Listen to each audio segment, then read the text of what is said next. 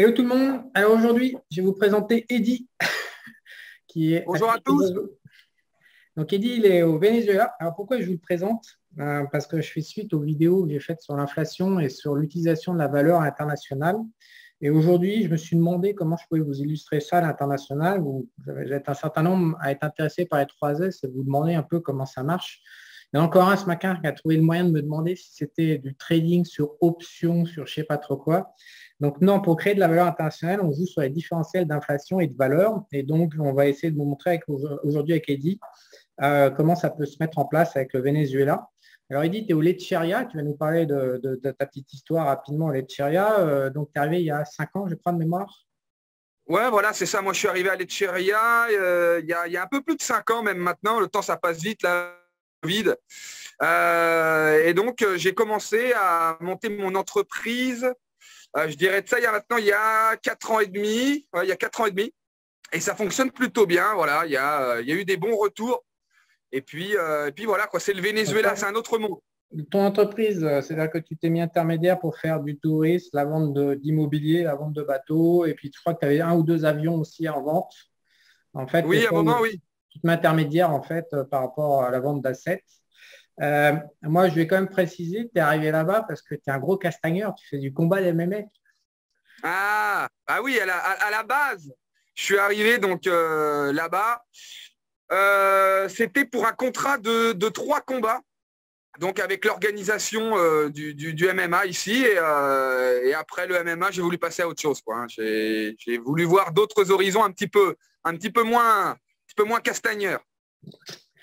Moi, j'ai pris contact avec toi. On va jouer en transparence. On a fait, je sais pas, 500 000. J'ai fait probablement 500 000 dollars de deal avec toi. Euh, donc, euh, on va aussi préciser euh, la teneur de cette conversation avant de montrer mon idée par rapport à l'exploitation internationale qu'on peut faire de ta présence. donc, je crois que tu m'as confirmé que tu prenais 5% en tant qu'agent immobilier sur les ventes que tu faisais. C'est les vendeurs qui règlent les commissions au Venezuela. Exactement. Donc euh, voilà, on a dit aussi que si des gens te contactaient, faisaient une transaction, tu me rétrocédais 1%, et c'est 1% en fait euh, bah, moi, j'offrirai euh, l'université investisseur en fonction du montant de la rétrocession qui sera faite. Donc, il y aura un cadeau pour toutes les personnes qui sont intéressées à traiter avec toi, qui payeront de toute façon 5%, mais il y aura un petit cadeau en plus à te contacter. Voilà, c'est ça en termes de transparence, parce qu'après, tu sais, aujourd'hui sur Internet, si tu commences à faire l'embrouille, tu peux égorger rapidement. Donc, on met tout à plat déjà avant même de présenter. Alors pourquoi je vous présente Eddy? Bah, Tout simplement parce que j'ai dit, dit dans la vidéo hier que quand j'ai redémarré, j'étais ruiné en 2002, j'avais vraiment, j'étais au RMI, et puis j'avais les APL. Quand j'ai redémarré, ce que j'ai fait, c'est que je suis parti à Tours, enfin dans la banlieue, et puis j'ai vendu des prestations de services euh, sur le marché parisien. Et je jouais sur les écarts parce que les clients, par exemple, payaient plus. Alors maintenant, ça, c'était des petits. Alors, quand on redémarre à zéro, bah, c'était des petits profits, mais ça peut même faire plus de profits. Maintenant, je pense que toi, tu représentes pour des gens qui ont un peu de capital, 100, 200 000, 300 000.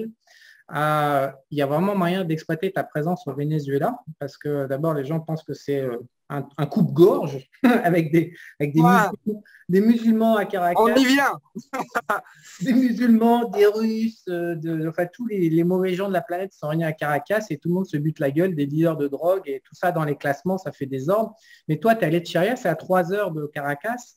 C'est un petit paradis qui est un petit peu sous les, sous les radars, une petite base internationale dont tu vas nous parler après. Et moi, mon idée, c'est qu'en fait, euh, le Venezuela sort d'une énorme crise monétaire et inflationniste que tu as vécu de, l'intérieur. Et donc, du coup, les prix sont très intéressants et on va vous montrer ça. De l'immobilier, par exemple, je ne sais pas, à Paris, un appart de 100 mètres carrés, ça doit à 12-13 000 dollars, euh, euros, ça va faire dans les millions 2. En dollars, ça va faire un million 4, un million 5 de dollars, alors qu'un 100 mètres carrés chez toi, ça coûte ah, ah bah c'est clair, ici euh, les, prix sont excellents au niveau de l'immobilier. Il était même, les prix étaient même encore mieux il y a de ça 3-4 euh, ans dans vraiment le dur de la crise. Hein. C'est-à-dire qu'il y, avait des appartements encore moins chers qu'aujourd'hui. Aujourd'hui, comme le Venezuela est en récupération économique et que bah, évidemment il est en progression, automatiquement, bah, petit à petit, les appartements sont de plus en plus chers.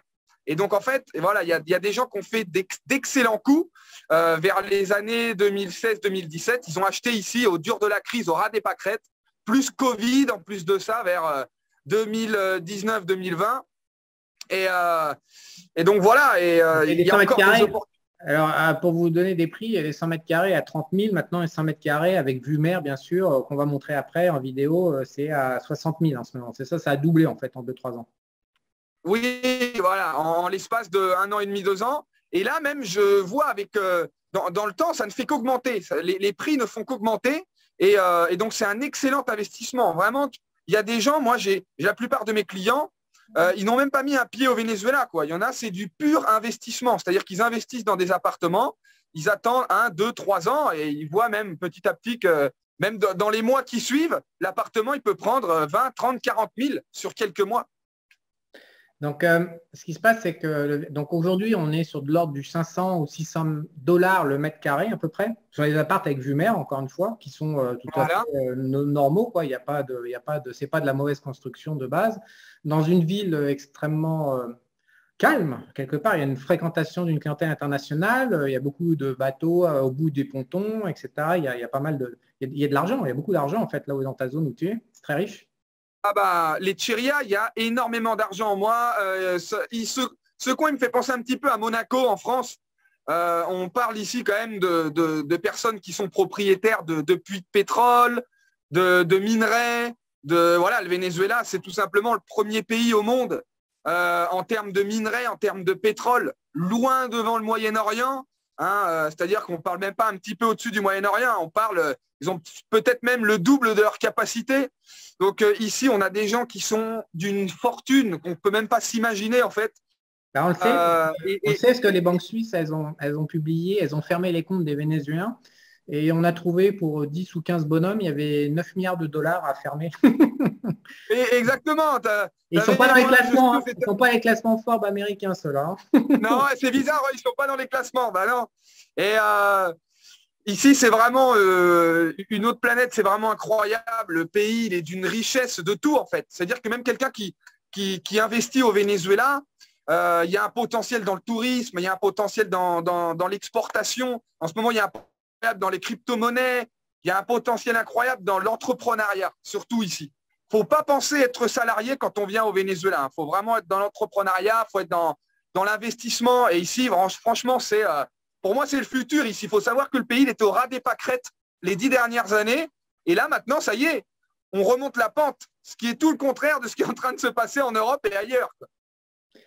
Alors, pour, moi, mon idée, c'est que des gens qui ont une activité internationale digitalisée et donc qui peuvent euh, assurer leur entreprise, faire tourner leur boîte euh, depuis n'importe où, à compte tenu des prix immobiliers du Venezuela et puis de la qualité de vie aussi, euh, à l'Etcheria, on ne va pas généraliser au Venezuela, mais à l'Etcheria, il y a une qualité de vie donc moi, mon idée, c'est que euh, entre posséder des appartements bah, en Europe, en plus, il n'y a pas d'impôt, tu ne payes pas ton électricité, tu ne payes pas le pétrole pour ta bagnole. C'est pour ça que tout le monde en moteur. L'avantage au Venezuela, c'est surtout ça, en fait. C'est que les gens qui investissent ici, euh, ils payent ce qu'on appelle uniquement un condominio. Et on va dire qu'un appartement dans, un des, dans une des zones les plus, les plus riches de, de l'Echeria, c'est 50, 60 dollars par mois de condominium, c'est-à-dire tout compris. Parce qu'ici, tu ne payes pas l'électricité, tu ne payes pas l'eau, tu ne payes pas le gaz. L'essence, elle est au ras des pâquerettes, pareil. Alors, le prix international, on va dire euh, officiel, il est à 0,50 dollars le litre, mais dans la réalité, personne ne paye ça. La plupart des personnes, voilà, euh, pour 10 euh, dollars, tu fais ton plein de, ta voiture pour 80 litres, quoi. Donc, voilà. Et moi qui suis dans le monde des bateaux, je ne te parle même pas des bateaux. Moi, j'ai un bateau, je le remplis en diesel, les 1600 litres pour 30 dollars. voilà, c'est vraiment, c'est un autre monde, les gens, des fois, ils n'arrivent même pas à comprendre. Donc, dans le cadre d'une diversification internationale, pourquoi je te présente? Bah, Tout simplement parce que, ah oui, au niveau de l'expatriation, donc il y a les Français qui s'expatrient dans, dans, ta zone. compliqué ou pas de s'expatrier au Venezuela? Je t'ai mal écouté, je suis un peu euh, Est-ce que c'est compliqué de s'expatrier au, Venezuela en tant que Français Les procédures d'expatriation? Alors non, c'est pas du tout compliqué. Alors certes, moi, le temps de mettre la procédure en place, c'est clair qu'au début, ça n'a pas été facile. Surtout que le, Venezuela, c'est un pays constamment, euh, voilà, qui, est en changement perpétuel. Mais euh, aujourd'hui, la procédure, elle est simple. Il faut commencer par faire un achat immobilier, donc acheter un local, commercial, si on a envie de se lancer là-dedans, acheter un appartement, acheter une maison.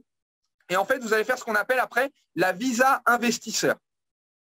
Et avec la visa investisseur, après, vous pouvez rester au Venezuela tant que vous voulez. Vous avez juste à, la rénover tous les ans. Et là, vous pouvez faire, voilà, vous pouvez entreprendre ce que vous voulez ici avec la visa investisseur. C'est-à-dire que vous pouvez avoir votre permis de conduire, vous pouvez avoir un compte bancaire, vous pouvez avoir votre euh, carte d'identité étrangère, la cellula extranjeria. Et donc voilà, et vous pouvez vivre normal au Venezuela. Mais pour ça, il faut faire la démarche d'un achat immobilier ici au Venezuela. Et il y a une quantité minimum en dollars euh, L'investissement, il doit faire une, taille minimum ou pas? Non, il n'y a pas de limite d'investissement. C'est-à-dire que vous pouvez acheter un local à 5 000 dollars. Euh, bon, après, il ne faut pas exagérer. Je pense que le registre, ils ne sont pas bêtes non plus. Vous ne pouvez pas euh, acheter un bien, un, terrain à 100 dollars dans la campagne et demander le visa investisseur. Ça, je ne crois pas. Ce n'est pas possible. mais voilà, il faut au moins qu'il y ait une démarche euh, qu'on on, voit que voilà, vous, êtes ici pour entreprendre quelque chose. Vous achetez un appartement, vous achetez un local commercial. Voilà, il n'y a pas, euh, mais il n'y a pas de, de, minimum entre guillemets. Ouais, que, je pense que. Dis-moi, Eddie, parce que l'autre question que les Français ont, tu sais qu'on est un pays de frileux, pour pas dire de peureux. Euh, et, toi, tu n'es vraiment pas un peu heureux, et puis moi non plus. Donc nous, ce n'est pas les détails qui nous arrêtent, mais pour beaucoup, ça va être un détail qui nous arrête. Quel est le droit de propriété au Venezuela? Il est solide, c'est-à-dire que les gens vont avoir peur d'investir au Venezuela. Ça, les gens ont peur d'investir au Venezuela. Alors oui, je comprends qu'il y ait des gens, mais je dirais même pas spécialement au Venezuela. Hein. Moi, de ce que j'écoute et de mes clients, la plupart des personnes, ils ont peur d'investir hors de France, hors de l'Europe.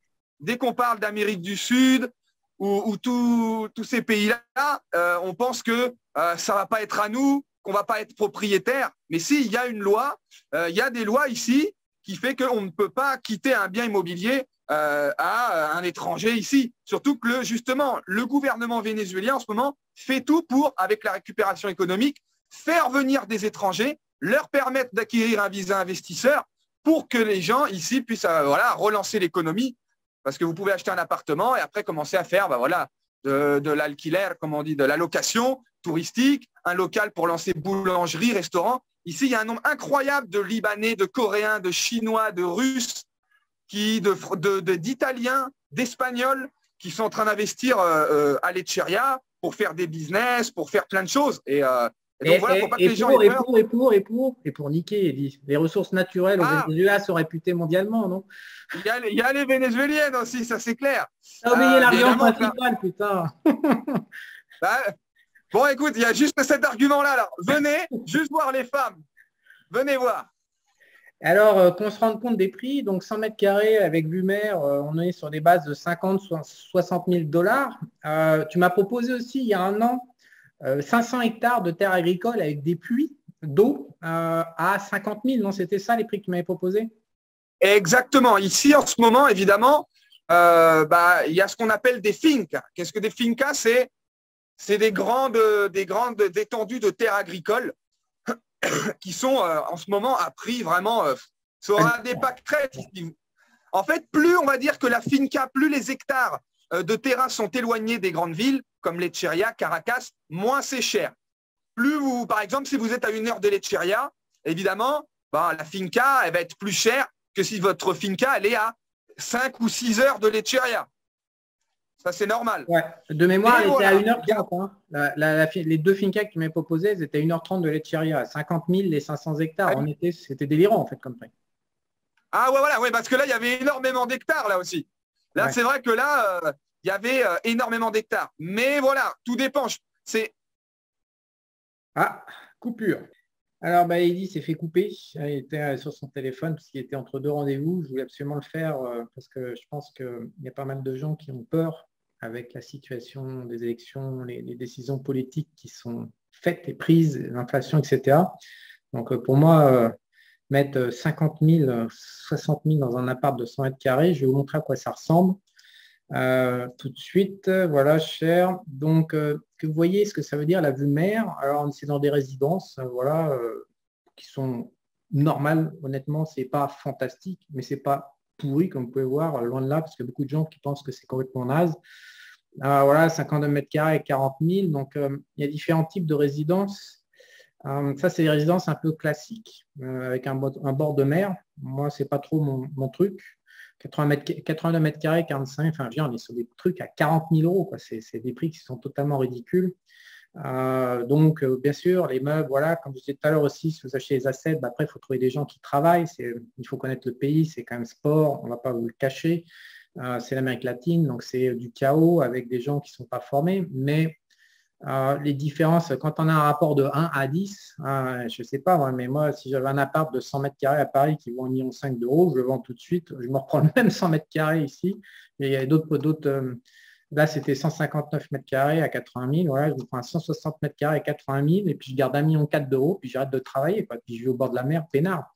Donc, euh, c'est ça que je voulais vous montrer, en fait. C'est demander qu'est-ce comment, comment, comment je fais. Vous n'arrivez pas à comprendre, mais c'est des arbitrages de genre. Je me déplace géographiquement des biens, des assets, euh, parce que bah, en fonction des situations macroéconomiques, fiscales et monétaires des différents pays, on a des opportunités qui naissent et puis qui disparaissent donc pour moi, à mon sens, aujourd'hui, euh, vous voyez les résidences. Euh, quand j'ai pas eu Venezuela, il y a deux, trois mois, j'ai dit Russie, Venezuela et Turquie. Euh, Venezuela m'a dit, mais un malade mental, moi j'ai une famille et des enfants. Ah, mais c'est quoi? Vous avez vu à quoi? C'est censé être le chaos, ça, avec des piscines partout, des maisons sur l'eau. Je vais vous montrer après la, la partie de l'Etchera que je préfère. Euh, il est où le chaos? Il est où le danger pour les enfants C'est que des trucs comme ça. Donc Eddy actuellement, il a une cinquantaine de biens à vendre, d'appartements, voilà, avec des prix de 30 à 60 000 dollars. Donc si vous êtes investisseur, euh, moi je, bah, voilà. Après il y a des petites maisons individuelles et puis il y a des grosses maisons. Il y a bien sûr des, mais comme vous voyez le style, on est, on est, alors là, voilà, on est là, on est sur une île, voilà. C'est ça que je vais vous montrer. Il y a pas mal d'îles de ce genre aussi. Donc là, on est sur euh, du luxe. Donc voilà, une île avec euh, une barre d'immeuble, la sécurité, votre bateau au bout de votre jardin. Vous pouvez aller dans les mers, il y a des îles de l'autre côté, vous pouvez vous balader et tout. Et donc là, si je reviens en arrière, je ne connais pas bien son site, voilà, on est sur du 1000 mètres carrés, du 1000 dollars le mètre carré. 1000 dollars le mètre carré pour avoir le, top du top avec son bateau au bout de son ponton. Euh, donc des choses comme ça, il y en a plein. Donc euh, on va vous donner le groupe euh, de Telegram euh, d'Eli, comme ça si vous êtes intéressé pour investir. Mais moi, je vois plus ça pour les gens qui veulent s'enrichir. C'est-à-dire si vous gommez la dépense de frais de vie, vous la mettez au minimum dans un cadre vraiment charmant, excusez-moi, mais il y a pire comme lieu de vie qu'un truc comme ça. après, ça vous permet de, complètement reprendre le contrôle de, votre... Et en plus, j'ai oublié de demander à Eddie au moment où ça a coupé, mais il n'y a pas d'impôt en fait au Venezuela. Donc, vous ne payez pas d'impôt, vous ne payez pas l'immobilier, vous ne payez pas les, frais de transport et la bouffe, elle est à que dalle. Qu'est-ce qu'il vous reste à dépenser?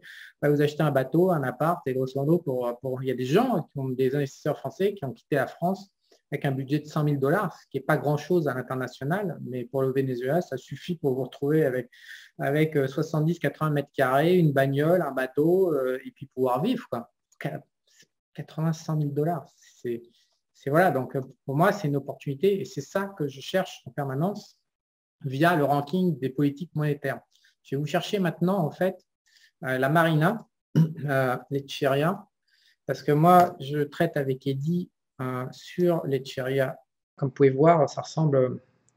On est très loin déjà de, l'image que le Venezuela peut avoir à, l'international. Donc, on est dans du un peu comme en France en fait. Donc là, vous voyez, en fait, il y a des milliers de bateaux, de yachts, euh, des milliers d'appartements. C'est assez grand, hein, voilà. Donc c'est euh, très friqué. Euh, vous voyez ce que je suis en train de vous montrer dans, la, dans Eddie, il avait un appart là-dedans, là, qui est l'une des zones les plus high level, 1000 dollars. La plupart du temps, c'est du 500, 600 dollars le mètre carré. et donc, pour moi, toute cette zone, donc il y en a plein, hein, ça, on peut prendre euh, voilà, il y a d'autres zones euh, du Venezuela. Moi, ce qui me dérange au Venezuela, c'est qu'il n'y a pas d'arbres. Donc, j'ai besoin d'arbres pour vivre. Donc, je trouve que c'est un petit peu aride par rapport à mes besoins personnels. En revanche, quand je vois les conditions de vie euh, de Français, ça me ça va vomir, quoi. Un certain nombre de lieux en France. Donc, entre ça, voilà, avoir un quai, puis son appart, il y a plein de petites maisons comme ça, avec les bateaux au bout qui sont rangés. Donc honnêtement, euh, on est quand même un peu, un peu plus proche d'un rêve. Lecheria et Venezuela, voilà, des bateaux comme ça, on est quand même un peu plus proche euh, d'un mode de vie euh, sain au bord de la mer avec, avec bah, des, qui n'exige pas, pour moi, l'immobilier, en fait, j'ai construit hein, cinq maisons, j'ai fait, je vous ai dit, 25 îles, des terrains, des bateaux, des machins, des trucs. pas qu'au Venezuela, une fois au Costa Rica, ailleurs, au Panama et tout. Et donc, pour moi, en fait, le problème de l'Europe et des États-Unis, c'est que les, les, besoins de base, comment dire, nécessaires à la vie, c'est-à-dire une voiture, se déplacer, un toit, et puis, euh, et puis un peu de loisirs. Le problème, c'est que ça a été pris en otage par les banques centrales. C'était leveragé par les banques avec de l'emprunt. Et les prix aujourd'hui de tout ça, et ça a été aussi bien sûr augmenté par les taxes. Le souci, c'est que les prix aujourd'hui n'ont plus rien à voir avec la valeur euh, réelle. La valeur réelle, c'est de l'immobilier, il faut 500-600 balles. Alors, je veux bien croire qu'en Europe, il faut se protéger du froid et ça va chercher dans les 700-800 balles. Mais ça ne vaut pas 10 000. C'est une aberration. Quoi. Enfin, on arrive à 15 000, 15 000 euros le, mètre carré. C'est folie. Quoi. C'est un placard à chiottes, euh, on peut se payer 100 euh, mètres carrés au Venezuela. quand on regarde ça, on comprend qu'il y, a un souci dans le système et que donc, bah, quand il y a un souci, il faut le fuir si ça joue en votre défaveur. Donc, pour moi, la valeur, je ne paye pas, comment dire, L'avantage de l'Amérique latine, c'est que ça n'a pas été inflaté comme ça. L'Amérique latine dollarisée, hein, parce qu'elle reste, c'est le chaos. Et donc, du coup, il est possible de faire une vie avec des moyens financiers raisonnables. Donc euh, moi, je sais bien que je suis pas un entrepreneur de génie, euh, je suis pas voilà, mais par contre euh, mes dépenses par rapport à la valeur que j'obtiens, mes dépenses sont suroptimisées. Donc je refuse de payer ne serait-ce que 3000 dollars. Bah, à Panama City, ici, on est sur 1500, 2000 dans le meilleur quartier, sur 2000 dollars. Là où je suis, c'est probablement un quartier le plus cher de la ville, et on est, c'est de l'ordre de 2000 dollars le mètre carré. Donc moi, je refuse de, voilà, parce que, parce que des politiciens, parce qu'ils veulent collecter, parce que c'est un système élitiste. Ok, très bien, j'ai bien compris, il faut mettre tout le monde en esclavagisme et tout, c'est cool, mais pas pour moi. Donc si pour vous aussi, euh, vous entendez la petite lumière à l'intérieur de votre tête qui s'allume, qui dit non, bah, pas pour moi non plus, bah, vous montez dans un avion et puis bah, voilà, vous avez des destinations comme ça, les Cheria. Vous avez, je vous ai présenté euh, Eddie, qui est euh, donc un broker bah, qui a fait des opérations avec moi qui sont voilà, qui, est fiable, qui est perfectionniste, qui qui trop perfectionniste par moment, qui perd trop de temps dans les, détails, euh, justement, il faudrait qu'il apprenne à, comment, à déléguer un petit peu, parce que c'est quelqu'un qui contrôle. Mais dans l'Amérique latine, il faut contrôler, c'est nécessaire pour la survie, parce que c'est du chaos, parce qu'on traite avec des gens, voilà, euh, on traite avec des gens euh, qui ne qui viennent pas d'Europe, qui viennent pas des États-Unis, qui ont une autre mentalité, une autre manière de faire. Mais avec un bon broker, comme il avec un pays comme le Venezuela, il y a plein de choses à faire. Je ne comprends pas comment on peut s'attacher à l'Europe quand on connaît ce qu'a le Venezuela. Il y en a qui rêvent de faire du farming. Eddie m'a proposé, comme je disais tout à l'heure dans la vidéo, 500 hectares à 50 000. Pourquoi je ne suis pas allé? Parce que j'ai pas envie de monter dans l'avion, ça me gonfle avec ces histoires de Covid. Et j'ai pas envie de vivre au Venezuela parce qu'encore une fois, j'aime beaucoup le Panama. Pour moi, le, maire de Panama, c'est mon lieu de vie pour, pour, la fin de ma vie. Je reste au Panama. Mais franchement, si j'ai pas trouvé le Panama, euh, comme je l'ai dit dans ma vidéo précédente, euh, ça serait Russie ou Venezuela ou Turquie. Euh, et Venezuela, honnêtement, ça a plein de plein, plein sur le papier. quoi. C'est pas compétitif de mon point de vue uniquement par rapport au Panama mais c'est des jugements de valeur parce que aussi je démarre pas, comme j'ai dit dans la vidéo, si j'avais 30 ans et que j'avais 50 000 balles sur mon compte, le Venezuela serait évidemment bien devant le Panama. Maintenant, j'ai pas 30 ans et j'ai pas 50 000 sur mon compte. Donc du coup, mais, mais c'est toujours le même problème, c'est les problèmes des trois S, c'est apprendre à se poser des questions en fonction de soi, et non pas en fonction de standards et de figures d'autorité et de règles générales. Donc moi, dans ma vie perso, ça correspond pas à Venezuela. Mais si ça correspondait, les, 50, les 500 hectares, en plus, euh, il est possible d'exporter. Alors l'Argentine bloque les exportations en collant, je ne sais plus, une taxe de 10 ou 20%. Honnêtement, l'Argentine, c'est super pays, mais ça la dérive, c'est un chaos. Quoi. Euh, alors, Venezuela, euh, certes, ils sont anti-américains, mais il n'y a même pas d'État, en fait. C'est la liberté au Venezuela. Donc, vous pouvez tout à fait monter un business agricole, peut-être même transformer sur place et exporter ça. Alors, bien évidemment, vous exporterez probablement pas aux États-Unis, mais vous pouvez exporter, euh, notamment, c'est très lié à la Chine, à la Russie et au reste du monde. Il y a des lignes entre la Chine et puis Caracas des lignes euh, maritimes. Et euh, il y aura personne. Alors peut-être qu'il va falloir rincer le mec du port parce que forcément, y a une corruption partout. Enfin, comme il dit, j'aurais bien aimé qu'il soit là pour. En fait, il m'écrit, il y a un problème de batterie, c'est mort. Euh, donc, euh, c'est pour ça que je fais la vidéo, je la finis tout seul. Euh, par exemple, il dit quand il part à Caracas, donc les routes sont pas en super état, ça c'est clair. Et puis, il va peut-être rencontrer 5 à 7 barrages de flics. Et donc, il faut envoyer de la monnaie aux flics. Combien? Ça va de 1 à 5 dollars. Ou alors, c'est des paquets de top ou des boissons, des machins. Alors, la corruption au Venezuela, ici au Panama, j'ai payé une seule fois une amende parce qu'après, j'ai compris. Donc euh, au Panama, vous payez le, le, FIC. Alors évidemment, moi il me sert systématiquement à 3h du mat avec l'Audi R8. J'ai même pas, ça n'intéresse même pas de voir mon permis. Ce qu'il veut, c'est m'arrêter pour, pour me taper du blé. Donc euh, oh, alors là, c'est 20 dollars ou 30 dollars. Évidemment, je me suis fait serrer la semaine dernière.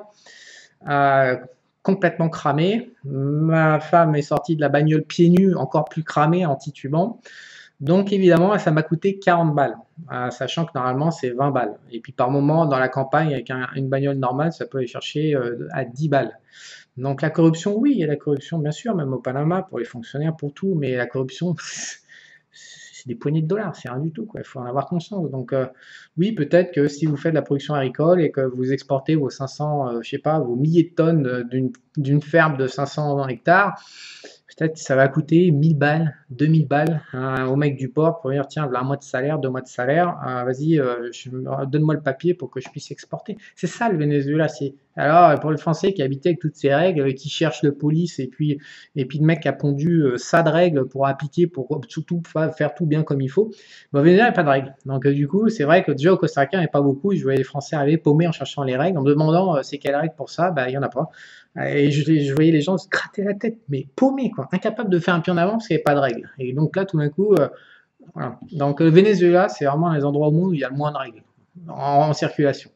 Donc euh, bah, quand on a une idée, on la fait. On ne consulte pas de savoir si c'est légal ou pas, il n'y a pas de règles. Donc on fait. Évidemment, il y a quand même deux, trois fondamentaux. Quoi. On ne viole pas la femme du voisin, sinon ça se termine mal. On ne déglingue pas au fusil le mec parce qu'il a fait un, truc sur la route, il y a quand même des fondamentaux, mais assis dans la règle, dans, pour des gens normaux, il n'y a pas de règle. Donc, euh, pour moi, c'est une opportunité. Donc voilà, que je finirai, je ferai une autre interview d'Eddie. Il faut qu'il vous raconte, euh, j'aimerais bien qu'il vous raconte sa vie qu'il a vécue. Il n'a pas eu le temps de le parler là. Et c'était plus une vidéo sur l'inflation, mais on fera une vidéo perso dédiée. Et vous pouvez accéder à son lien Telegram si vous êtes investisseur. Le, truc aussi, c'est que ça permet, Venezuela, il permet de, parquer de l'argent. Euh, l'argent monnaie, papier, est à risque. En ce moment, tout le monde le sait. C'est pas une... Donc, euh, aller parquer 50 ou 100 000 euh, voilà, dans deux appartes au Venezuela, dans, dans, dans, ces propriétés extraordinaires, hein, quelque part, voilà, ça, va pas, puis il pas, va pas être drainé vers le bas avec les taxes et machin, ah, t'as pas rempli ton bien, bah tiens, tu vas prendre une taxe parce que ton bien il est vide, il pourrait servir aux, pauvres dans la rue qui bouffent pas quoi. Euh, et les banques là qui ont créé tout le système, non, c'est pas les banques qui peuvent te payer les taxes, euh, voilà. Bon bref, donc vous n'avez pas tout ça, donc parquer de l'argent physique et le transformer. Pour moi c'est une aberration. On a de l'argent, mais ah, j'ai peur, ça va brûler, les banques vont faire faillite, on va me le piquer, on va faire des saisies comme à Chypre ou ailleurs parce que parce que parce que.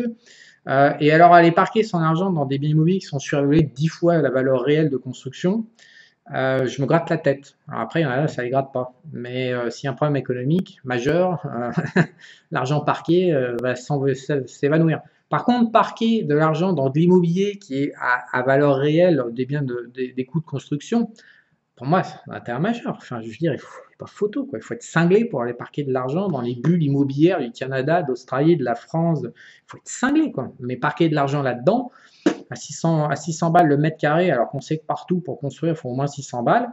Voilà, on achète des matériaux, ils sont construits, le lieu est, super, comme vous pouvez voir, il est top, il y a plein de... Voilà, vous pouvez taper sur Internet. Euh, Là, ça a de l'intérêt en fait. Euh, c'est un intérêt majeur moi. Donc, euh, je voulais vous parler de cette opportunité que moi, j'ai déjà mis 500 000 dans le merdier. Quoi. Je vous dis à bientôt. Je pars à l'agent et vous n'entendrez plus parler de moi pendant moins d'une semaine. Bye bye.